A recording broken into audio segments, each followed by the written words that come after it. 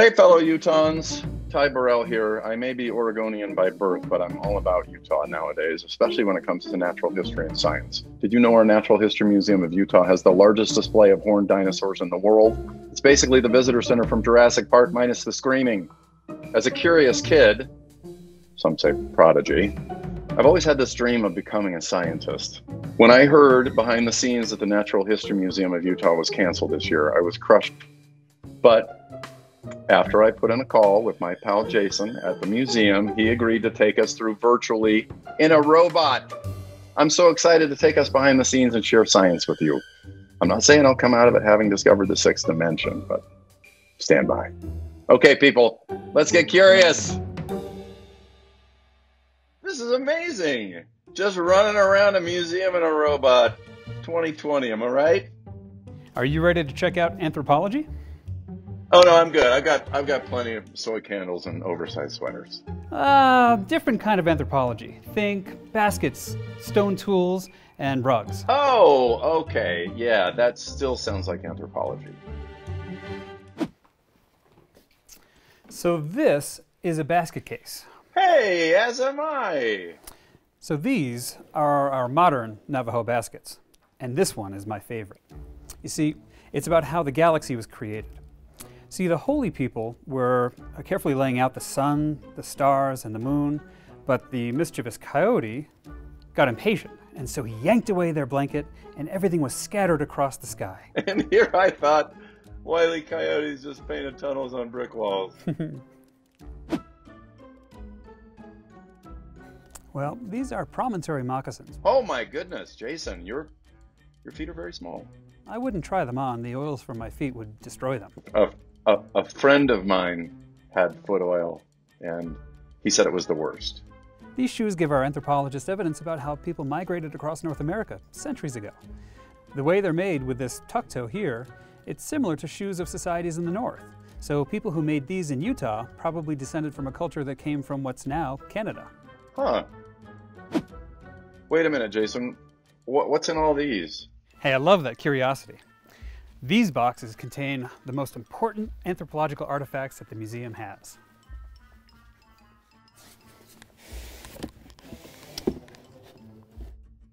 That's dirt. You, you, you know that's dirt, right? Well, yes, but soil and pieces of pottery are some of the most important things that we study because they tell us exactly what was in the environment at the time. Wow. To explore more about our anthropology collection and research, we set up a socially distanced interview with Dr. Glenna Nielsen Grimm and Dr. Lisbeth Louderback. A huge thanks to Ty Burrell for helping us all stay curious during this very unusual behind the scenes. In more normal times, behind the scenes would be our chance to share the wonders of the museum with all of you in person. While that's not possible this year, we're psyched to have you join us for this one-of-a-kind virtual behind-the-scenes event. Our guests tonight are the museum's curator of archaeology, Dr. Lisbeth Louderback, and our collections manager of anthropology, Dr. Glenna Nielsen Grimm. You'll have a chance to ask them questions in a live Q&A right after this. So save those questions. But first, I'm thrilled to be here with them in the museum's anthropology collections. Let's start with Lisbeth. Lisbeth, remember that I'm an entomologist. I'm a guy who studies bugs. So I have a really fundamental, basic question to start with, and that is, can you tell me the difference between archaeology, anthropology, and ethnography? Sure. So the anthropology collections are made up of archaeological and ethnographic collections. Archaeological collections contain objects that were made by the first peoples of Utah.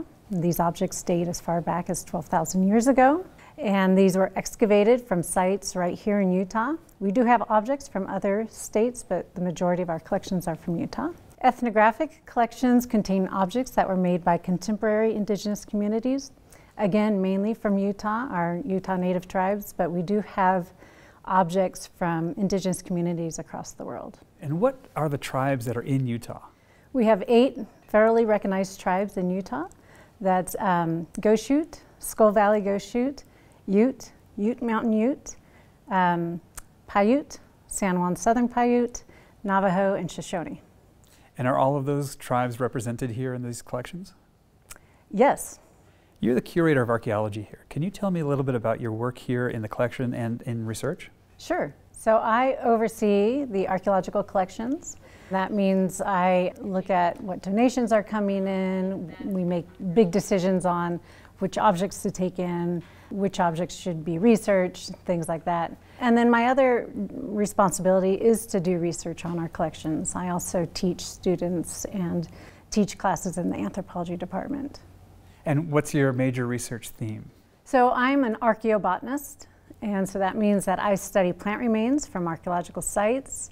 And these range from little seeds and fruits to twigs um, to leaves. But I also study plant residues, so microbotanical remains. These are remains you cannot see with your naked eye, such as starch granules, pollen grains. And these residues are embedded in, in many of the objects in our collections. What can we tell by looking at the diets of people from uh, the past? Well, uh, I'll give you an example of some recent research that we've been doing. Um, this is in Escalante in southern Utah, or Escalante if you live there. And um, there, what we found was um, plant residue, starch residue on ancient stone tools. These are manos and metates, grinding stone tools. Um, we found evidence of processing of wild potato. And the more and more we started digging into the literature and talking to the people around the community, turns out that Escalante Valley used to be called Potato Valley, and that this potato was once really important to the people living in the valley. That resource has been forgotten. So our research has kind of brought that potato back, not only to the people in Escalante Valley, but to the indigenous communities in, in Utah and to pioneer communities. And um, it's really um, helping to establish that cultural identity and cultural heritage that's been lost all these times. So I remember reading that the potato actually was a New World uh, plant that was uh, utilized by the, the indigenous people here and then only later um, exported to, to Europe and, and the Old World. Is that correct? You're thinking of Solanum tuberosum. That's the potato we buy in the grocery stores. The species that we're talking about is Solanum jamesii, and this is the four corners potato, and it's native to the Southwest. It is not, does not come from South America. Maybe millions of years ago it did, but it's its own species native to this area. What's the difference between the four corners potato and the potato that we can go and buy at Smith's? The Four Corners potato is way more nutritious than what we buy in the grocery store, even the organic red potato. And even though they're, they're small, uh, they are very, very nutritious. So one of the interesting things that we found is that, well, first we found the starch residue. And as we were trying to identify what this potato starch was, we actually found um, or discovered a, a population of the potato growing about 100 meters in front of the site. And this was like the most exciting thing to us because that was validation of our, of our starch residue results. Um, and then the more and more we've been working on this project, this is a project funded by the um, National Science Foundation. And um, we've been finding that these populations of potato, especially in southern Utah and in southern Colorado, are associated with only archaeological sites. Whereas the other populations down in um, New Mexico and Arizona, kind of where they originate, they're not uh, associated with archaeological sites. So we uh, proposed the hypothesis that people were transporting these potatoes northward. So your research really gets into the, the movement of, of agricultural products or agricultural plants uh, by humans, right? What other kinds of uh, foods were they eating? Do you know? Oh, a huge, broad range of foods. Um, wild foods, such as wild grasses. They were also eating exogenous domesticates, such as maize, um, uh, beans, and squash. Those were all domesticated in Mesoamerica, but transported northward to the southwest. The Three Sisters? The Three Sisters, that's right. But I would like to include the Four Corners potato into that because uh, um, we also believe that that was domesticated, but it was domesticated here in, in the Four Corners region, not in Mesoamerica. And so, how does that kind of research inform what's happening now with, with modern peoples? So, we do have a, a, a lot of different branches to this project. One of those is collaborating with scientists at the USDA. Um, potato geneticists and breeding experts. So we've been doing a lot of breeding experiments. What we're trying to do there is that we are trying to increase the gen genetic variation of this potato. What we don't want to have happen is what happened with the 19th century uh, great Irish potato famine, where they were relying on one species of potato, which was infected by a fungus, potato blight, wiped out their entire crop. Glenna, you're the collections manager here. Can you tell us a little bit about what you do? What we do is we have both reposited collections that come to us from sites that have been excavated on public lands and they come here and we curate them here. And we also take in collections that have been donated to us or that we actually will commission and have them come here. But what we try to do here is to um, research and care for and conserve objects. So Lisbeth had mentioned that you make decisions on what objects to accession into the collections. How does that decision process work? Often I'm contacted as a collection manager, so somebody will send an email to me and say my mother or my grandmother or I was um, has given me an object. It's a basket or a uh, you know some kind of a, a blanket or something that they have received, and they would don't know what to do with it, um, or they think that it should come to a museum, and so they'll contact me and say, "Are you interested in this?" And so I usually will reply, "Yes, send me a picture first, and then we look at it and I try to get information about where it was, where it came from, when it was made, um, what they know about it, and then I send that out to my curators and they will look at it. So Alex Greenwald, who Dr. Greenwald is our curator of ethnography, and so she tries to oversee the collections that we bring in that are ethnographic. And um, Dr. Louderback or Elizabeth, she will look at the archaeological collections. And the problem we have with archaeological collections is sometimes if they're coming off public lands, we should not have them because they've been illegally obtained. And we try not to have illegal collections here. Um, it's against the law to have some objects, and so we don't take them in. So that's one of the other things that we have to do is we try to get what's called a provenience or provenance for these objects. And if we can determine that they came from public lands, like BLM lands or some other kind of lands, we'll contact those agencies and see if we can't get those objects back to them. Otherwise, we will collect them here.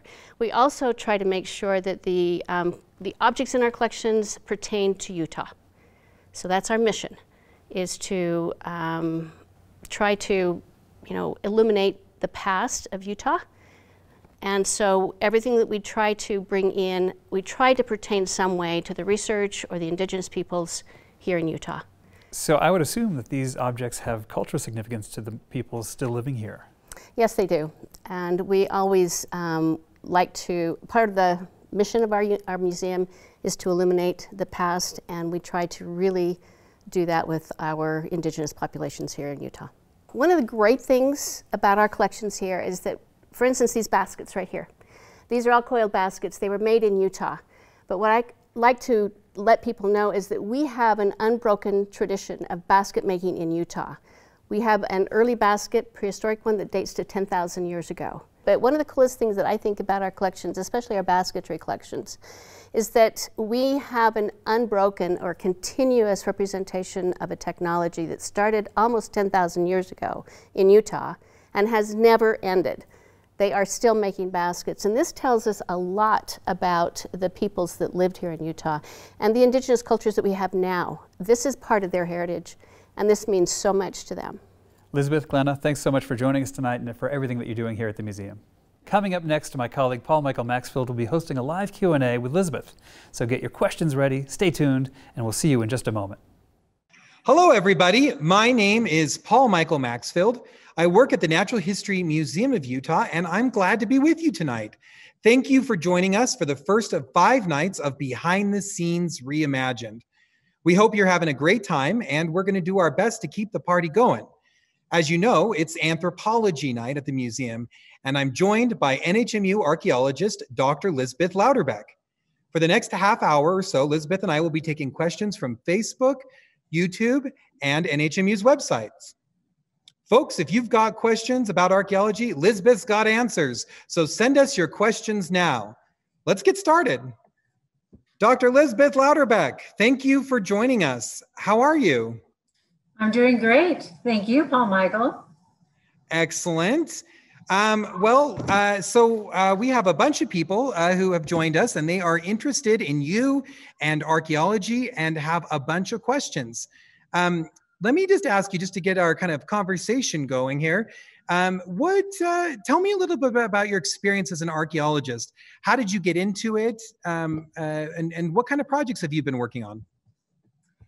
Sure. Well, um, I was first introduced to archaeology because I was interested in learning about what plants were around in the past. And I came a bunch across a bunch of literature that had to do with paleoecology and archaeology and people using plants in the past.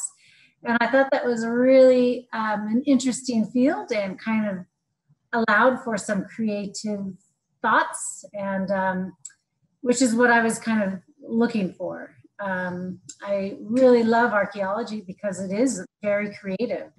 Um, we are basically prehistoric detectives. We go out in the field, we excavate a site. Um, the site is basically a lot of materials that have been left over thousands of years ago.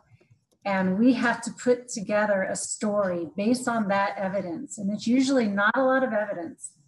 Um, but that allows for some really creative ways of thinking and some interesting collaborations with other subfields such as geography, geology, botany.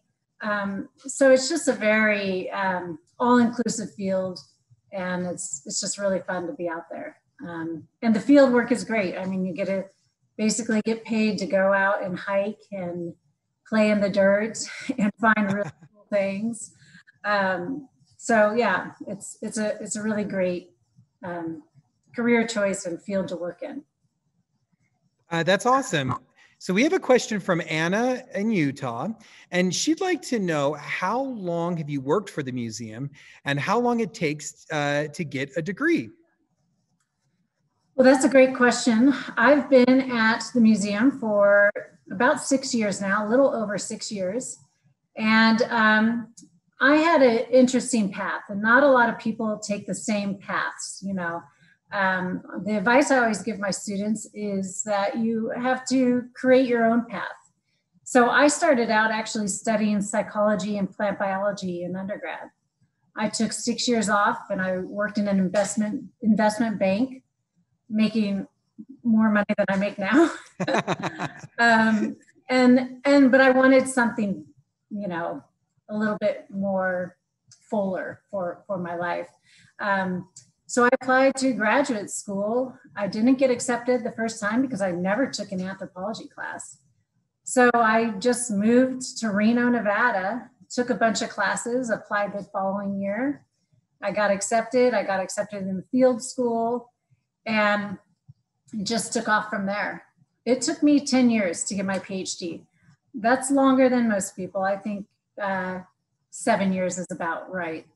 But um, you learn how to become, you know, a professional archaeologist. You learn how to become a teacher. You learn how to um, to become a, a, whatever analytical tool you're using, a specialist in that.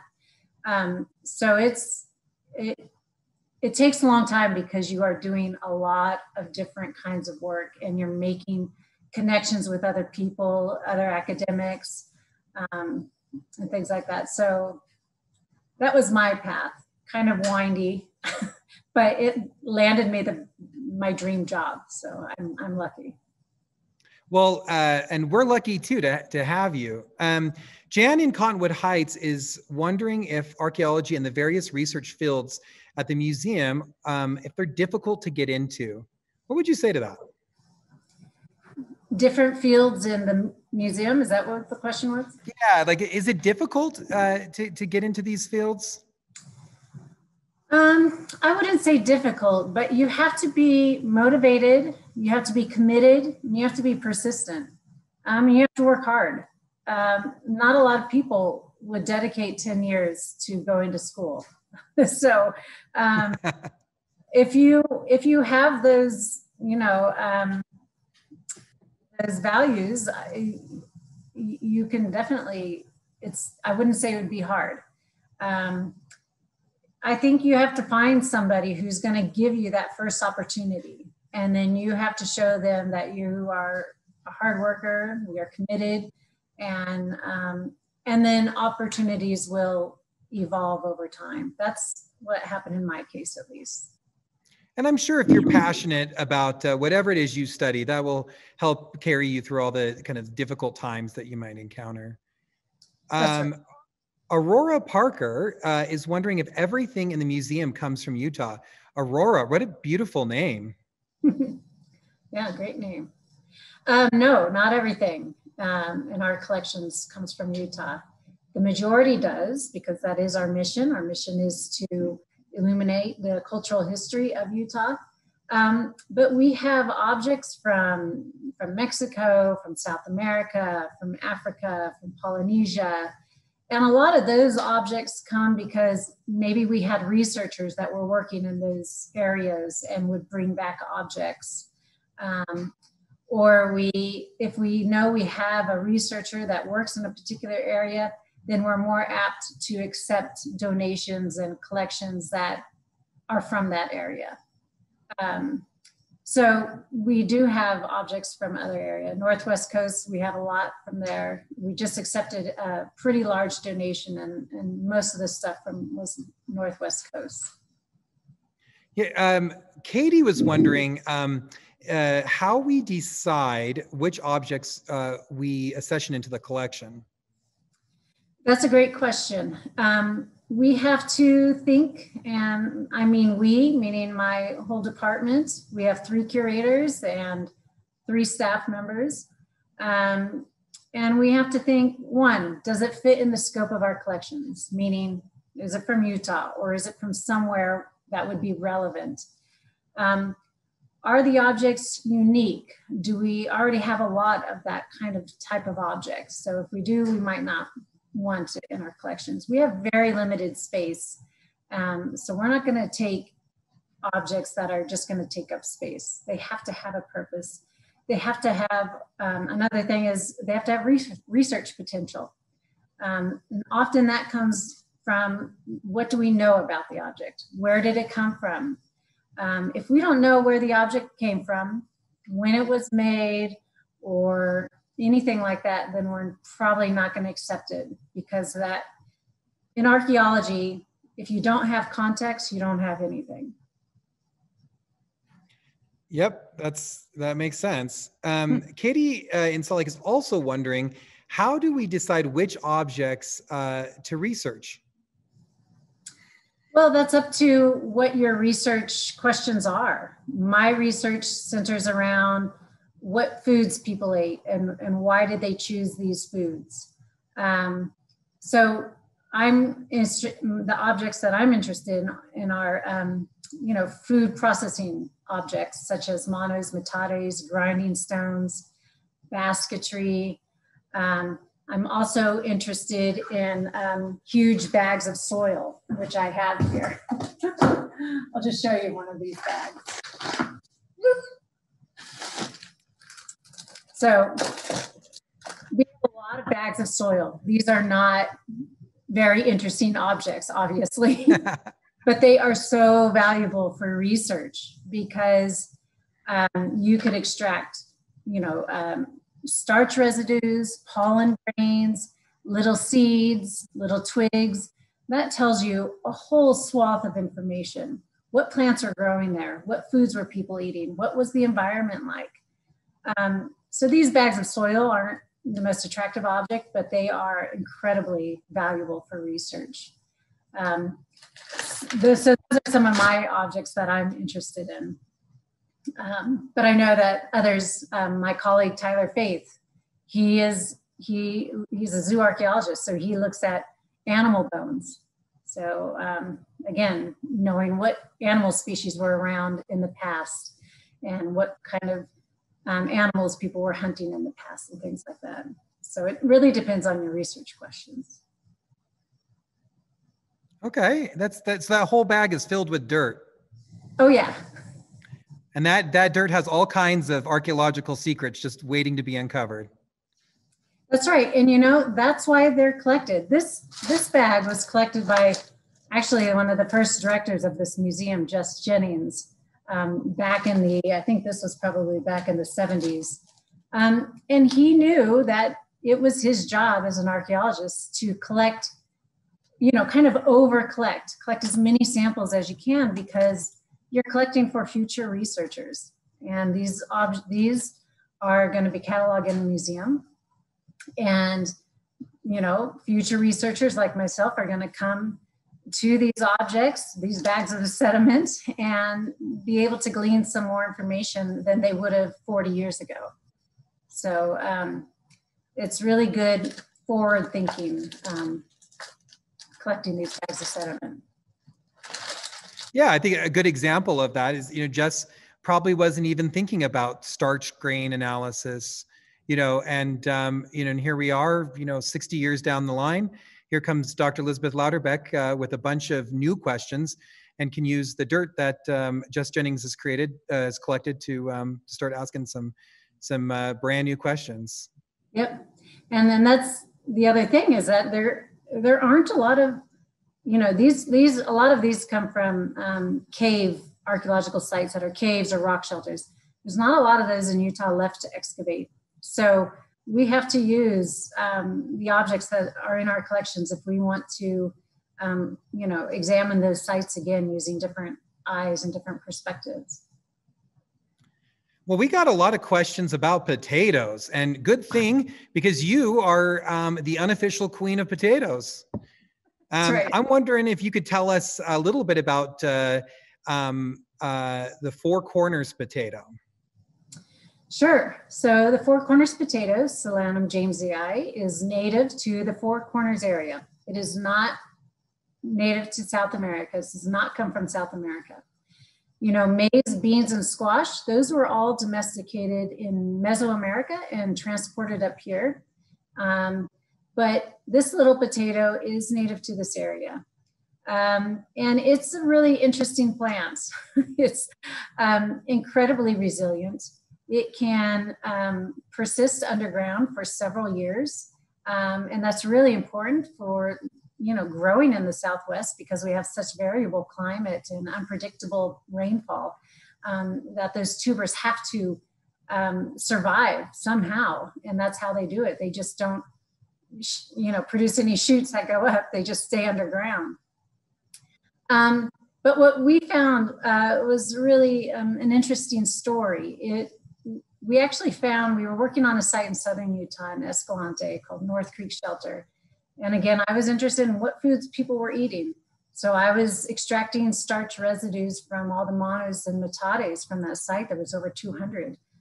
Um, and I was, I found potato starch and I didn't really understand why I was finding potato starch on these, you know, 10,000, 11,000 year old tools. Um, but it turned out Escalante Valley used to be Potato Valley. And these potatoes were very important to the native communities that lived there. Um, they're still important to native communities throughout the Four Corners region. They were important to the descendants of the pioneers um, we had a story, um, uh, Delane Griffin, he's a 96 year old direct descendant of the pioneers, who would eat these potatoes, go out and forage for them during the Great Depression. Um, they were important to some of the cavalrymen that came through Utah in the 1800s. Um, so this story about this food resource just started to grow and grow. And we realized that it had just been forgotten. A lot of people never knew Escalante Valley was called Potato Valley. They didn't even know that potatoes were still growing in that valley. So we're working now with native communities, pioneer communities, um, restaurants. We're working with the USDA Potato Gene Bank, and we're trying to bring back this potato to these communities and to conserve this really important food resource. Wow, that's that's really amazing stuff. Um, Rachel in Salt Lake City wants to know: Are the potatoes um, that were originally grown in Potato Valley, so the Four Corners potatoes, um, have you tried one? And um, uh, are they any good? Oh, they're absolutely excellent. well, I mean, they taste. I think they taste better than the normal white potato you buy in the grocery store. Um, but they're they're more nutritious, so they're better for you. And um, the way we cook them is uh, we've sauteed them with butter, salt, and pepper. They're delicious. The skin is crunchy on the outside, and the um, starchy inside's all mushy and, and nice. It's got kind of an earthy taste. Um, and we put them in our chicken soup because they fit nicely on your spoon. You know, these are wild potatoes, so they're they're small. They're about the size of a quarter. Um, now, the reason the potatoes in our grocery store are large is because those have been domesticated, and over millennia, humans have chose chosen large tubers. Um, but that brings me to another part of the project, is which we are investigating. Uh, we have a National Science Foundation grant to look at evidence um, for transporting these potatoes. We believe that, that people thousands of years ago transported the potato, and um, maybe we're on the way to domesticating it. Um, so maybe choosing those larger tubers would have been um, something that they would have a, desirable trait that they would have wanted in this potato. Um, but it's uh, very interesting because the populations in southern Utah are all associated with archaeological sites. The uh, potato also grows very abundantly in Mesa Verde.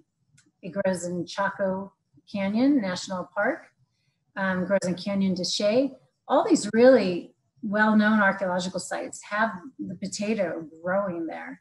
Um, and we believe that people, you know, trade was happening back and forth for thousands of years, and we believe that people were transporting this potato all around. So, um, so yeah, stay tuned for those results. If we find evidence that um, people were transporting them, then that's evidence that that's kind of the first step in domestication.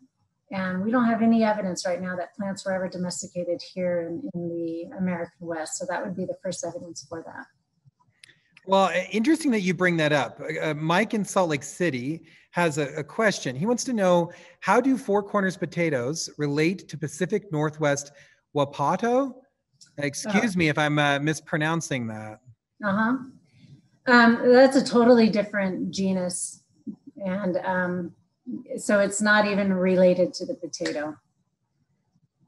And All I, right. Well, sorry, sorry, Mike. that was a good question, though. I was I, I thought you might be onto something there. Yeah, unfortunately, there's a lot of plants with common names of potato. There's one called Indian potato. It's not a potato at all. It's totally a different family, different genus, um, and it's got like a tuberous root, so it looks like it would be, but it's not. All right, one more potato question. Uh, Tommy, who is six years old, shout out to Tommy. Uh, thanks for joining us tonight. Um, he lives in Bountiful, and he wants to know how old the Four Corners potatoes are. That's a great question. Um, I don't know how long they've been growing in this region. Um, I'm I'm guessing thousands and thousands of years. Now we found evidence that people were eating it and processing it 10,900 years ago, so almost 11,000 years ago but I think it persisted on the landscape for much longer than that. And I just don't have the exact answer to that yet. Um, but I do know that researchers in South America have found that the, um, the potato growing there is very, very, very, very old. Uh, so, um, and again, I don't have the date in my head, but way long before people were there. Yeah, and that's. Eh, do you think that's a question that we're eventually going to be able to answer?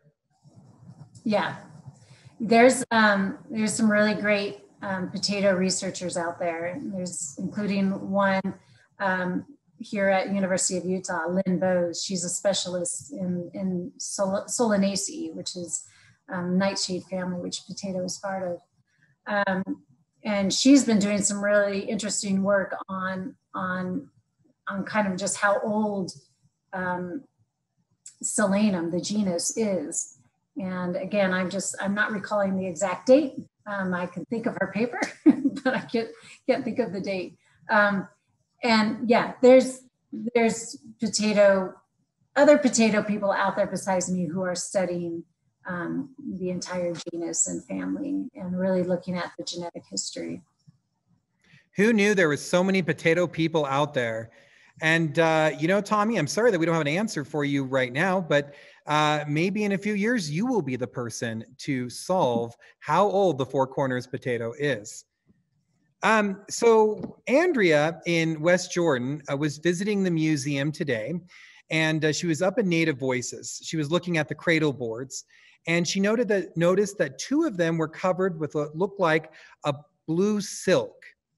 And she was wondering if that uh, if they were covered with the blue silk to prevent damage from lighting um, or if there was another purpose. Yeah so um, we uh, at the museum here we have what's called an indian advisory committee. And this committee is made up of a member from each of the eight federally recognized tribes and they worked very closely with our exhibits people and our collections manager to develop that exhibit. Um, and one of the requests was to cover um, the cradle boards um, out of respect for, for those um, culturally sensitive objects. Um, and, and over time, you know, we learned there's, there's other requests like that. And um, that's the best thing about this committee is that there, there's always we're lear- always learning something new about what's in our exhibits, um, how to interpret them, what it means to the Native communities in the state, um, and so we absolutely respect all of their concerns, and um, so that's the reason why those those blue cloths are are draped over that. Do you do you happen to know um, what uh, um, was so uh, culturally sensitive about the cradle boards? Um, you know, I'm. I think it has to do with spirits leaving. Um, I don't know. I'm not the one to speak on on the behalf of the Native communities, but I recall maybe something about that. Um, but that would be a question um, that I should bring to the committee and ask and, and just remind myself what it is. But um, yeah, oftentimes you'll see um, objects that, um, you know, might have something different about them. And, you know, maybe something I should bring to the committee is should we have a sign that that explains that? Um, so that could be something I could ask. Okay, all right, yeah, that's that's uh, really interesting stuff, and I um just think uh, I have so much respect for how closely uh, our anthropology department works with uh, the local American Indian communities. Um, I, have always uh, just been astounded um, by how respectful you guys strive to be. Well, um, Archer in Tooele wonders what the oldest archaeological item in the collection is. That's a great question. Um, I don't know if we have a specific object we have a site that's one of the oldest sites um, in in North America, um, certainly in Western North America. The site is called Danger Cave. It's located right off the 80 freeway in Wendover, um, and it's it has objects that date as old as 12,000 years ago. So that's pretty old for um, for North America, Western North America especially. Um, but again, it's not a specific object. What archaeologists do is we'll date material that is within a stratigraphic layer. So this would have been at the very bottom of the cave sediments, and they probably dated some charcoal or maybe some plant material. Um, so they've been radiocarbon dating those materials. And it comes back with a date, say 12,000 years ago. All the objects that are found in that layer are then associated with that date. So from what I recall in that layer, there was um, some stone tools, there was some cordage, um, there's even a little grinding implement. Um, so those those objects are then kind of by associated dated to 12,000 years ago. Yeah, one one object that we have in our exhibits, in fact, the very room that I'm in, First Peoples, um, is perhaps the oldest basket fragment in um, in the American West. Yep. Um, and uh, it's kind of hard to spot Archer, but um, you and everyone else who's uh, watching us should keep an eye out for it because um, it, it's it's really something quite special. Do you mind just telling people a little bit about that basket fragment? Sure. It's actually not a fragment it's a complete basket it's it you know it's about the size of my hand like this it's um, perfectly um, nicely um, coiled little basket um, the researchers found it kind of um, poking out of the the sediment in the cave this comes from cowboy cave kind of in south central utah and and so they they collected it. They were excavating the site. They collected it and dated it, and it came back as old as 9,000 years ago. And that is one of the oldest dated baskets in North America. Um, it is on exhibit. I've been really wanting to do residue analysis on it, but um, it's very hard to get out of that exhibit case. So, but we are actually working on other basket fragments from that site. Those baskets aren't as old as that one, um, but we're getting some really interesting results. So I think based on those results, maybe the exhibits team will let me get in there and, and, and you know, sample that basket. I have no doubt that they will. um, so Chris in Moab wants to know when the first humans arrived in Utah. And he's also interested in what kinds of plants they ate. That's a great question. Um, that's kind of a research question that's ongoing. Um, the early in Utah, the earliest site. So there's Danger Cave, um, and then there's also North Creek Shelter, the site I was talking about before with the potato residue. Um, that's down in southern Utah. Um, those are about equivalent in age, and um, and it's interesting. There's not a lot of information about plant use in those really early levels, and that could be due to preservation. Um, you know, the older things get, they they just don't hold together, especially little seeds and, and things like that. Um, but that's when residues come in handy because they do preserve better in, in collections and in, um, in objects. Um, so what I can say is that um, there's little evidence of plant use, um, but it's there aren't what you don't find in those really early levels are the manos and metates.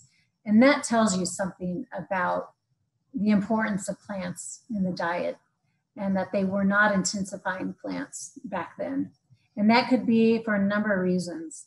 It could be that they were just moving around a lot um, it could be that they were relying more on animals and maybe marsh resources where you didn't need grinding implements. Um, and we just don't see, you know, much of um, that subsistence use in the archaeological record.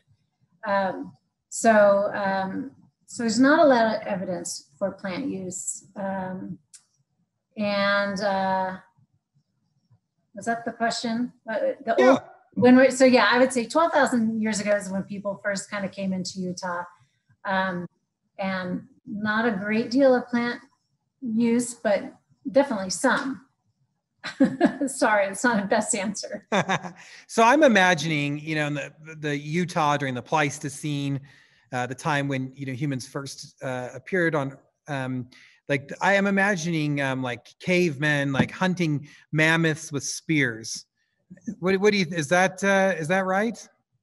That's a hypothesis put out there. Um, there are definitely um, animal bones found in these caves that are mammoth.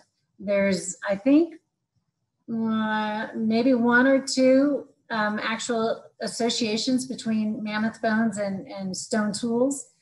Um, um, there's even one uh, in the desert west um, the uh, a stone tool that actually had um, blood residue of like the whatever the elephant family is, you know, so probably was mammoth in the past. Um, I think it was for proboscidean um, blood residue. Um, and so we know that these megafauna were walking across Utah, living here and, and all that. Um, the association of humans hunting them and um, or scavenging scavenging them are, are is a little bit you know not it's kind of up for debate there's some evidence for it um, but here in Utah, I think it's still up for debate. Um, so yeah, I think, you know, 12,000 years ago, um, we had a, a, huge lake here in Utah.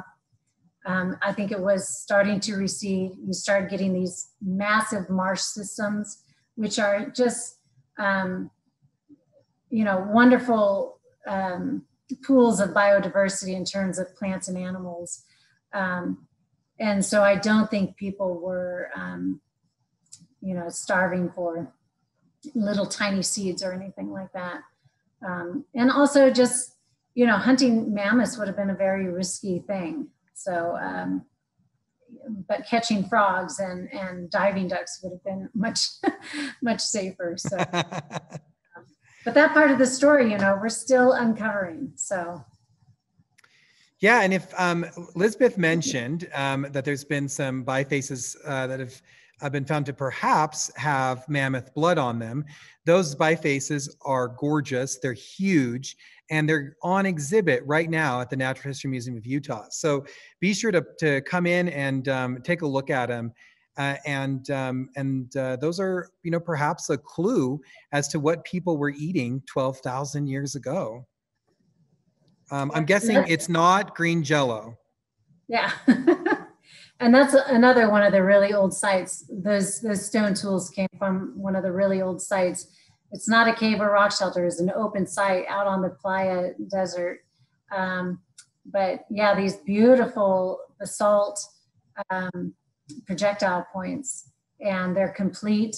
Um, and uh, so yeah, they're right next. The new exhibit is right next to the um, the mammoth uh, skeleton there. Well, Vienna and Bountiful um, is curious about your latest discovery. Um, you know, wants to know what what you've discovered, what you're working on right now. Yeah, so I have about uh, five students that are working in my lab right now, and they're working on various projects. Um, some of them are related to our potato project. Um, and part of that is looking for potato on other collections throughout the Four Corners region, including um, Chaco Canyon, Mesa Verde, um, and a few other sites throughout Utah and um, even in Arizona. One of the newest discoveries that we found is um, looking at the different tools. If if you know of Pueblo Bonito and Chaco Canyon, Pueblo Bonito is one of those great houses um, where people, it's thought that people came from all over to kind of gather there for festivals or ceremonies or rituals. Um, there's a lot of been a lot of great recent research on on Pueblo Bonito um, and uh, we have um, stone tools from different rooms of this um, gigantic great house. Um, and we're finding different starches on different tools from different rooms. Uh, and we're kind of wondering what that's about. It turns out three of the stone tools that we're looking at come from a room, room 28. This is the room where all of those hundreds of cylindrical jars um, were stashed. And uh, previous researchers have found um, cacao residue in those um, jars. And uh, so we're finding actually um, potato starch on some of these stone tools. And we know now from working with our Native American partners that the potato is actually not only good for food, but it is a, a lifeway medicine. So it does have ritualistic powers. Um, and it is used still today in ceremonies. So being able to connect those ancient uses to contemporary uses, um, I think is really fascinating and kind of a new thing that we're just kind of coming upon. And I really am excited to, to work with our Native American partners um, about this new research um, and, and, what it might mean. So, but that's very new, and you know, I, I don't want to get too excited about it, but that's something we're working on. It all comes back to the potato with you, doesn't it? I know it's it's true. That's why you're the, the potato queen. well, um, Kate on Facebook wonders how you decide where the best spot to set up and excavate is. That's a great question. Um, I think, you know, like the caves and rock shelters, those are kind of obvious. Um, and those are kind of hot spots that, you know, you just go and, and, and excavate. Um, but uh, other sites, you know, they could be found because somebody found something on the ground, um, maybe animal bones or stone tools. Um, and so they call a museum or the university or even their state histor- historic state history preservation office um, and tell them about it and they will have somebody come out and look um, for the, the site North Creek Shelter in southern Utah. That's on private property. And um, the owner noticed some petroglyphs on, on the sandstone cliffs there. So she called a, a, researcher and said, Would you mind just coming to my property and taking a look? Turns out that site goes down three and a half meters deep, and it's the oldest archaeological site on the Colorado Plateau. Oh, wow yeah so just a you know little tiny discovery can lead to a, a really important discovery um, doesn't always happen that way but um, sometimes it does. And boy howdy when it does it does, it does. yeah. So keep right. it open. But i must remind you if you do find archaeological objects on the ground do not pick them up. Make a note of where you found it and call your the local museum or um, the BLM if it's on public lands, um, or call the state historic preservation office and, and we'll get on it. My dad calls those Leaverites, as in leave them right there. Yeah, that's right. Because again, without context, archaeology is nothing. so Skylar on Facebook um, says, the American Southwest has such an amazing history. And he's wondering what the temporal and spatial breadth of our collections is and um, what the strengths of our collections is for research. That's a great question, Skylar. Yeah, that is a great question. Um, we have objects from all around Utah. So we have them from southern Utah, which is um, where you have more of um, like the ancestral Puebloan um, communities and a lot of those kind of sites, um, like cliff dwellings. You don't get cliff dwellings up here in northern Utah. Um, so we have objects from down there. We have objects, um, you know, that are kind of in, um, in um, sorry, I'm trying to think here, in western Utah, which is um, well, I'll just say throughout Utah, um, more of the Fremont culture um, that is kind of very particular to Utah. And um, we have objects um, from northern Utah, from some of the major cave sites. Um, so uh, we have we cover the entire prehistory of Utah um, in terms of our archaeological collections. Um, and, um, and so the scope of those collections, again, I would say the majority of our archaeological collections have research potential. Um, otherwise, we could, probably would not be accepting them. Um, so, uh, yeah, I mean, I hope that kind of answers your question. Um, was there another part to that question or? Um, let's see here. I think he was also wondering kind of so we have the what's in our collection, uh, like the, the the temporal and spatial breadth, and then also the strengths of our collection for research. Okay, yeah. I'll just add a little bit more. So I mentioned we just we have collections from all around Utah. Um, we are the state museum, but there are other um, accredited museums around the state that have collections from other areas as well. Um, and uh, the temporal span is, you know, as old as 12,000 years ago till today. The objects that are in our collection that date to present times are part of our ethnographic collection. Um, both of these collections, which make up the anthropological collections, um, have enormous research potential. Again, we are a research institute, and that is one of um, our missions is to be able to research these collections and say something about them. Um, and so you heard Glenna talking about our basketry collection in, in her interview. And um, I think our basketry collection is one of the most unique in North America, where we have a, a consistent tradition or technique that um, has been produced here in Utah from as old as 9,000 years ago till today. And to be able to track changes in that technology, um, I think is really, um, has got a lot of research potential. Um, so I'm looking forward to, to learning more about, about that and connecting these different collections together.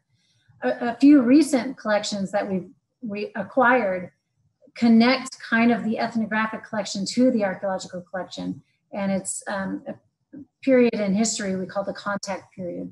So this is when um, white settlers were first coming into Utah. Um, so we have some collections um, from John Wesley Powell when he was doing his Colorado and Green River expeditions. Those are from the 1800s. Um, and again, it's it's bridging the more contemporary ethnographic collections to the archaeological collections, um, and that's uh, something we're working on is to getting more objects for that time period, so that we can really track over time um, what people were doing and how they were living. That's great. Um, Lisbeth, we have so many questions. Uh, and do you do you have maybe like 10 or 15 more minutes you can stick around and, and uh, so we can get through these? Absolutely. Oh, thanks. I appreciate that. Well, Peter in Salt Lake City is wondering how you can tell how the climate has varied over the past 12,000 years that humans has inhabited the Americas. So there's different ways. Um, I'm a paleoecologist as well as an archaeobotanist. So I was trained in pollen analysis and again, these, these bags of sediments, that holds the answer right there. Um, you can extract pollen grains from these bags of sediment, which again are taken um, in depth throughout the site. So from the earliest deposits all the way through. Um, and for some of those sites that have, you know, quite an impressive stratigraphy, um, like Danger Cave that goes back from 12,000 years ago to protohistoric times, um, you can get a record of environmental change for that entire time. Um, we did that for North Creek Shelter down in southern Utah and found a major climatic shift happening at around 9,300 years ago. Um, and this is when it got really dry in Utah, especially in southern Utah. Plant communities um, were moving upslope um, and uh, so that they can, you know, get to where it was cooler. Um, and then a lot of the um, lower elevation vegetation communities were also moving upslope. That tells us not only, yes, that environment was changing and all that, but it also tells us what kind of resources were um, available to people. Um, so Doing pollen analysis on sediments from archaeological sites is, is one way. Um, doing pollen analysis on um, lake cores or bog cores.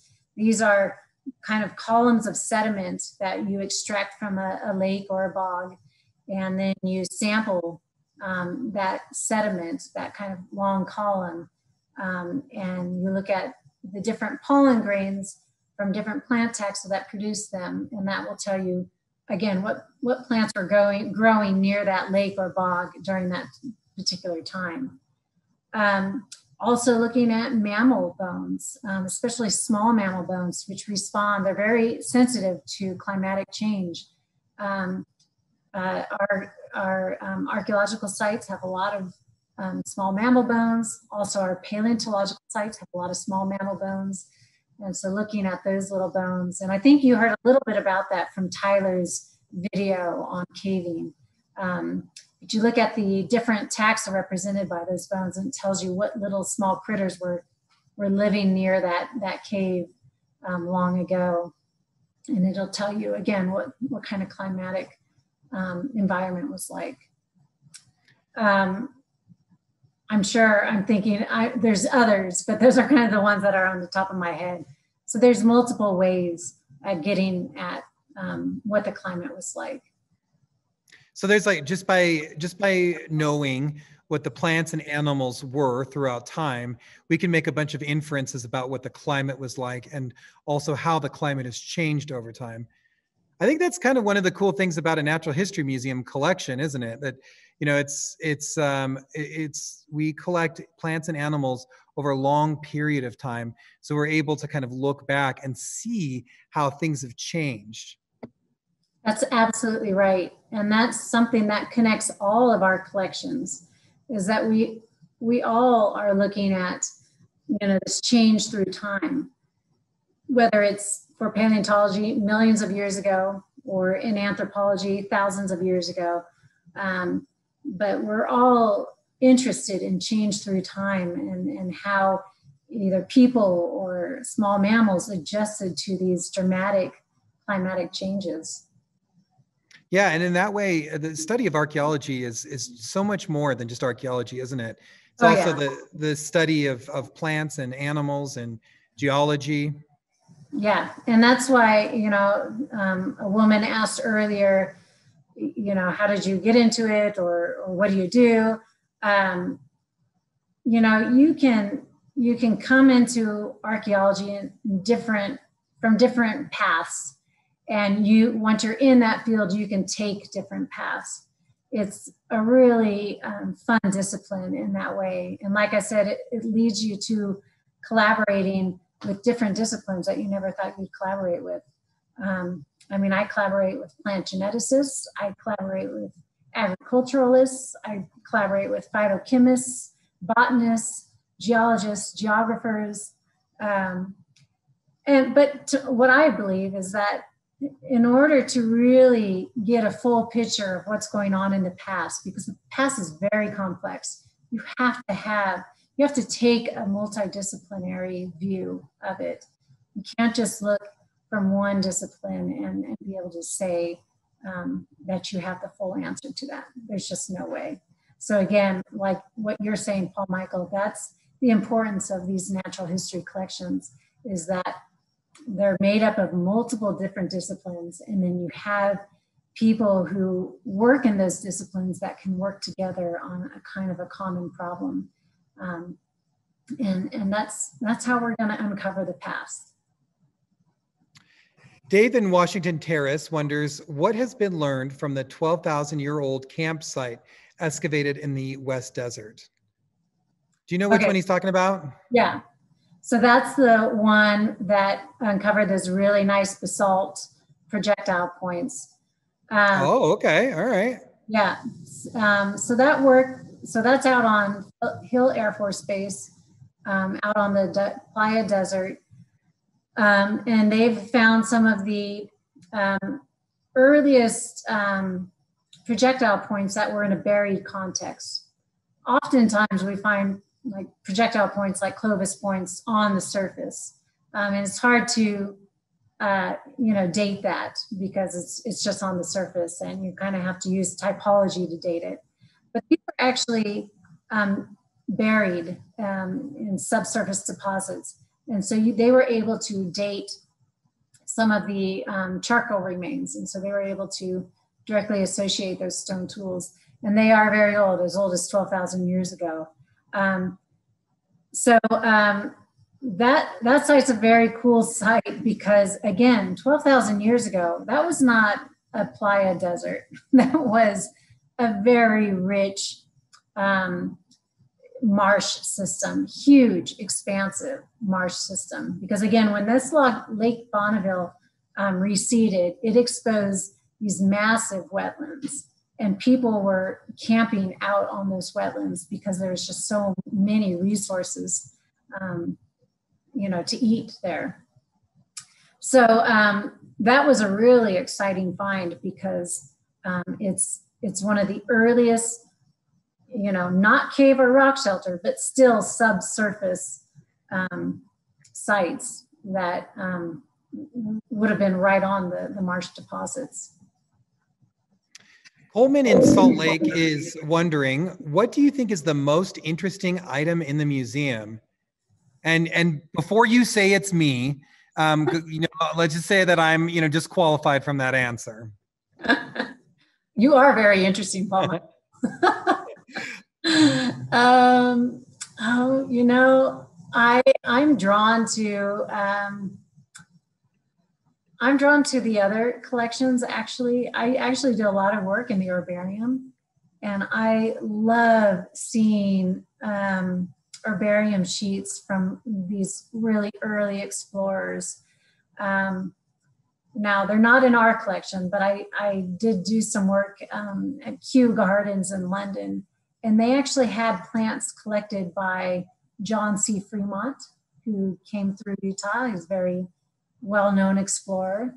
Um, they they had plants collected by Charles Darwin. Um, I, I, I just love that um, museum collections preserve these um, pieces of the past. Um, so I guess I don't have really an answer in terms of in our museum.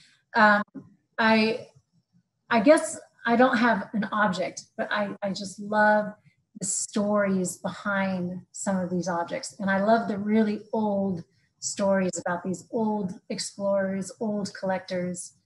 Um, and there's one I'm really interested in um, a woman, um, actually a woman explorer who came to the Four Corners region, um, I think in the early 1900s, and she collected Solanum jamesii.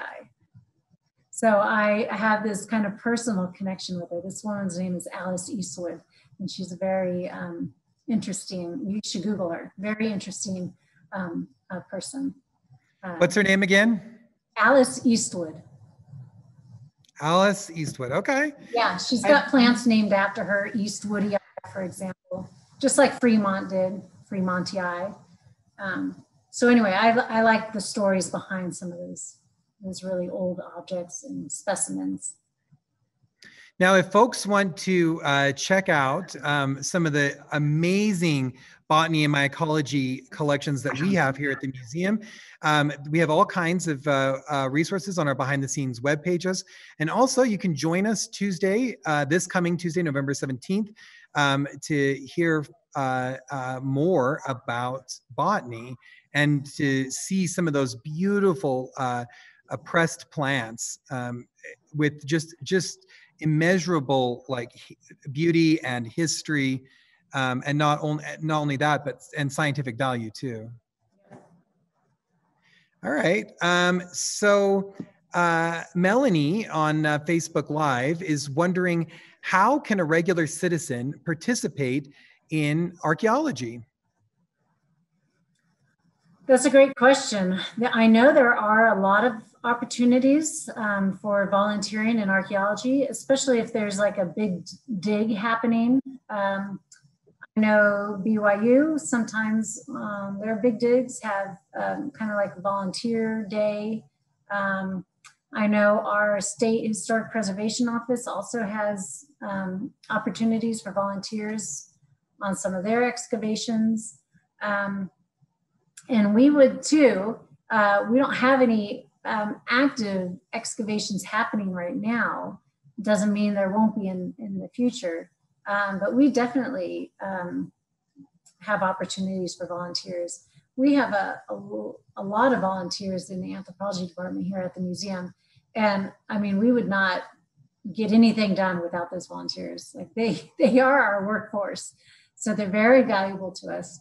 Um, um but in terms of archaeological field work, um, yeah, you kind of have to find the right um, opportunity. And I'm, I often know of, of, digs happening, and I can always reach out and find out if they have um, opportunities for volunteers. Um, so I would just reach out to, you know, to me or or to other people at the university or the, the State Historic Preservation Office, and I'm sure you could find something. Oh wow! I didn't I didn't know that was possible. Sign me up. Geez, Louise, that would be amazing.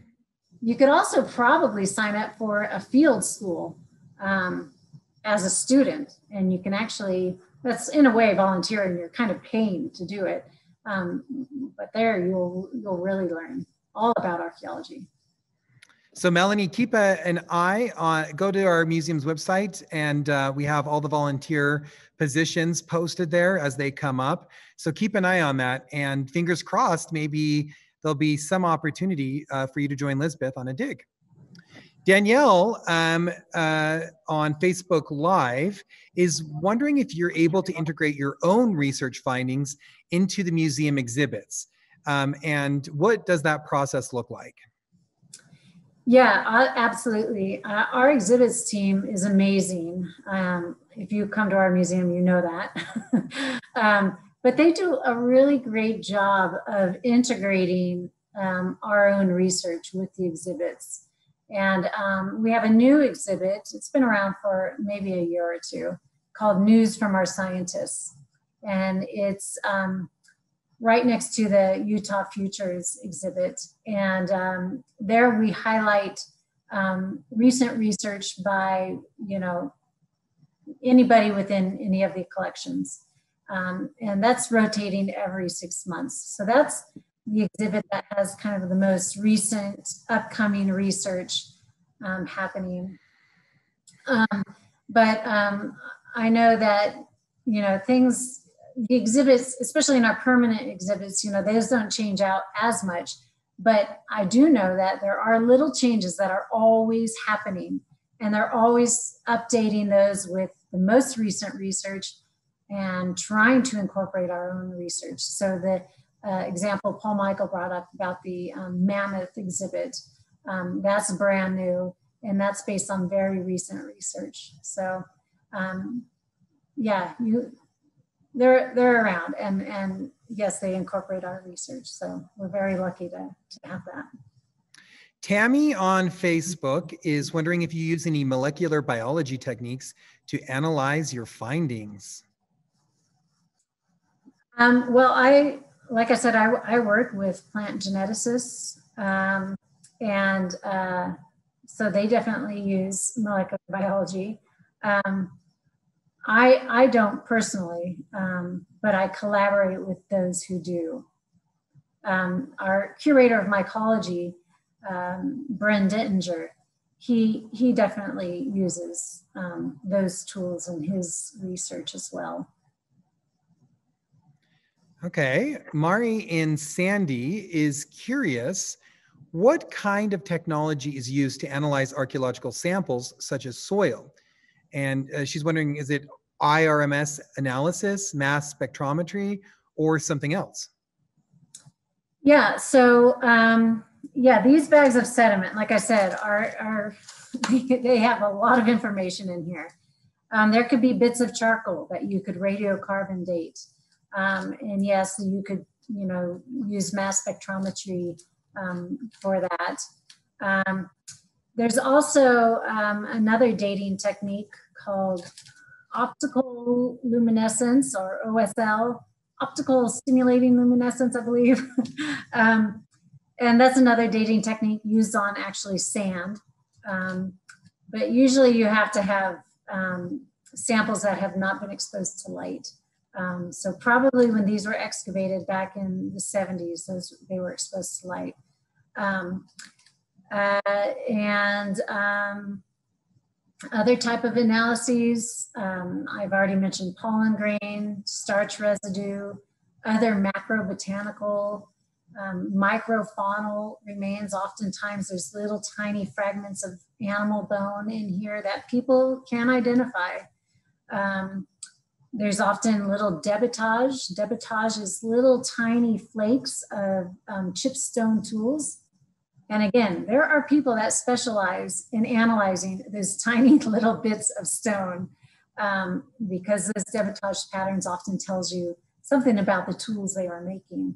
Um, so lots of different, you can there's lots of different techniques you can use on, on sediments. Um, again, that's why it's so valuable to have these in our collections so that people can come back to them and, and analyze them. Susie from Southern Utah on uh, YouTube is wondering if uh, you know whether Utah's first people used ephedra or Mormon tea in their diets.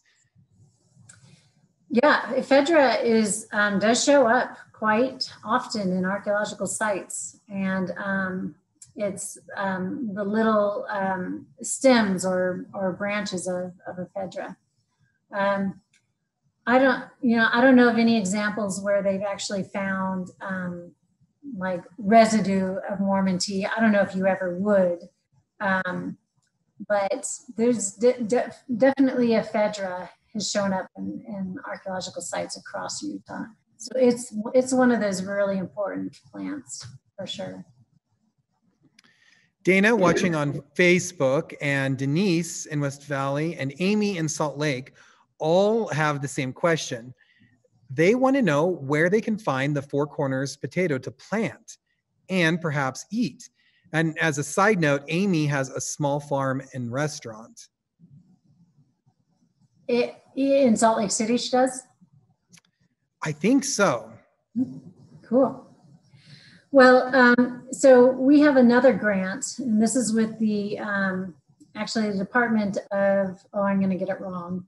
Um, it's like the Department of Agriculture, but it's here in the state of, of Utah um, under the umbrella of, of the USDA. Um, and that, that grant is developing the Four Corners potato for market. Now we are working with our Native American um, partners so that they can grow it in their gardens on reservation land. We believe they are truly the stewards of this potato we believe that the potato populations that exist in Utah exist because um, they managed and tended this plant for thousands of years. So we, um, we're working with them to let them grow the potatoes, um, again, on their own gardens, on their, on the reservation, and for them to grow enough and harvest enough to then distribute to restaurants um, or to other farms. Now, unfortunately, those operations got halted because of COVID 19. And as you know, um, especially Navajo Reservation got hit very hard with COVID 19. So we weren't able to get all those operations um, up to speed. And I should say also that this project is really run by Dr. Bruce Pavlik at, at Red Butte Garden. He's been working very closely on propagating this potato in the Red Butte Garden greenhouses. Um, but that's that's the goal. So we're we're letting um, we're having the Native American communities grow it first and try to get a big enough crop to distribute to restaurants. Um, and it's it's going slower than usual because of things that we can't control. Um, if if a vaccine is going to be available, we can take up operations again, maybe late spring, early summer. Um, and hopefully that would get us in time for harvest for next fall. Um, so we'll see. But um, keep your eyes and ears open because there might be um, a chance where they will be on the market and be available for you to buy. All right, Dana, Denise, and Amy, stay tuned for the Four Corners potato that might be on your plate sometime soon. And there have been other restaurants that have served the Four Corners potato, by the way. Um, Hell's Backbone Grill served it on their Thanksgiving dinner last year. And um, Twin Rocks Cafe has served it in a few of their dinner events. Um, and we serve it um, yearly at the Indigenous um, Foods dinner um, that the Utah Diné Bikéyah puts on. So it's it's getting out there. All right. Daniel, Daniel on Facebook eh, is asking, based on the archaeological evidence, what do we know about pottery trade between Utah and other cultures? We know it happened. not the expert. If if my colleague Dr. Glenna Nielsen Grimm was here, she would be able to tell you all about that. But I, I do know that um, pottery is one of the main objects that was traded, um, and there's a lot of research on that. Um, and uh, and again, I, I don't think there's just one direction of trade. I think kind of um, the Southwest and Four Corners region, trade was happening, you know, south to north, north to south, east to west, west to east. So um, all around. And pottery is just one of the things that was traded. I mean, we think the potato was traded, but we also know um, cacao was, uh, shell beads were, um, salt, scarlet macaws, um, lots of objects like that. Yeah, I remember um, uh, some of those cradle boards that we were talking about earlier have those Russian blue beads on them that came from Russia. And I was just floored that beads were from Russia made their way all the way to Utah and into our collection. Yeah, that's the fur traders. So, um, yeah, definitely see evidence of, of that. There's a whole um, field of, of research dedicated just to trade networks um, in the Desert West. Alan in Tooele wonders, besides the Four Corners potato, are there any other wild relatives to current Utah crops that should be conserved? Wild relatives to, hmm. Um, well, there's one that kind of comes to mind, um, but I wouldn't call it a crop really. Um, so we're all familiar with quinoa. Um, this is a plant, you know, the little tiny seeds and fruits that you, you eat. Um, the genus for that is Chenopodium quinoa. And that was really um, domesticated and intensively used in South America. Uh, we have other genera um, or other species of that same genus that grow here in Utah um, many different species of Chenopodium that grow here in Utah.